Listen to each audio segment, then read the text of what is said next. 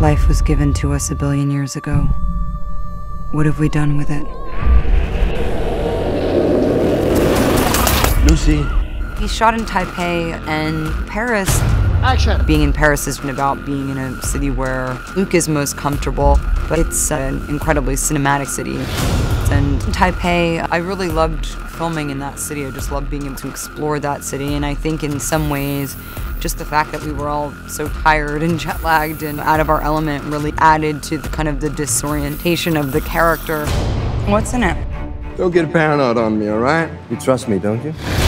I always have the desire for this film to start to another place. And Asia was perfect. And on the script, I always put Taipei because I went for the fifth element 20 years ago and I love the town, the feeling, the people. And the funny thing is at the end we end up in the hotel that I knew 20 years ago.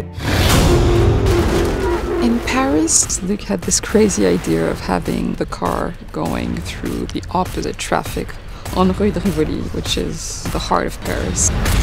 He filmed at La Sorbonne, the most beautiful university in Paris.